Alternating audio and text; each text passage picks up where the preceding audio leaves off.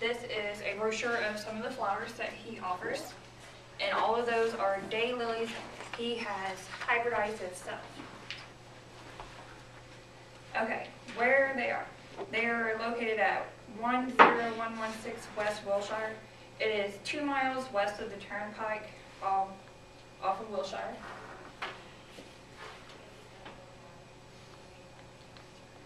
And he is a member of the National Daylily Association. And so it's a great place to purchase your daylilies. Okay. They started in 1979 and then moved to their current location in 1980. They started off as a lawn care and sod farm, but by 1985, the price of sod had dropped, so they added in flowers and small shrubs. And then by 1988, he started hybridizing daylilies off of a dare. And then by 2000, the price of sod has, has risen back up.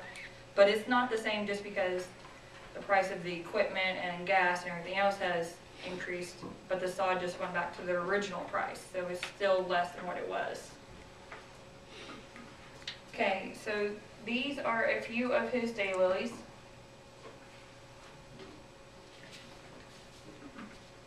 Um, there are different daylilies, like they have, you can get them with ruffles, deep ruffles, a pie crust, shark teeth, you can have them with eyes, a picotee, which is where the center is a different color than the petals.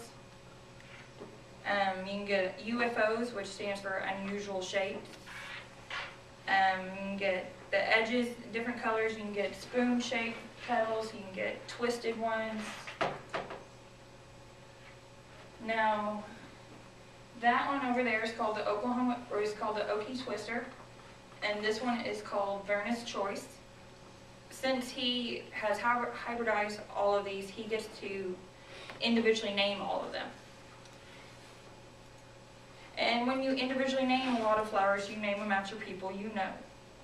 So there are currently like 15 fam friends and family member names, and there's more on the way because he names one after every grandchild, and he still has like three more grandchildren to name a flower full. Now, the pink one over there is named after my daughter. Um, he is on Facebook and he has a about 10,500 friends or 10,050 friends. He has an email list of over 1,100 emails. Um, he does the catalog orders and some of those are from like $10 up to $100 because some of these have won national awards and titles, and he's given convention speeches. And you can also come out and directly buy them. You can mail order them. The, you can go to Lowe's or Home Depot, your big box stores, but there you only can get the most commercialized plants. You cannot get any specialty plants. If it's not a mass-produced plant, they will not carry it because they have to be able to offer it in every store. Now, they sell more than just daylilies. They have hostas and peonies. Hostas are the green ones that usually don't have flowers. They are great for shade. They have approximately 150 different kind of hostas. And then the peonies are the ones across the bottom, and they are full sun flowers. So if you have a very sunny yard, peonies is what you want. They also sell uh, helleborus, sorry, and hydrangeas. And if you want to have a really beautiful garden, you need a mix of flowers and different flower heights. And that's the end of my speech.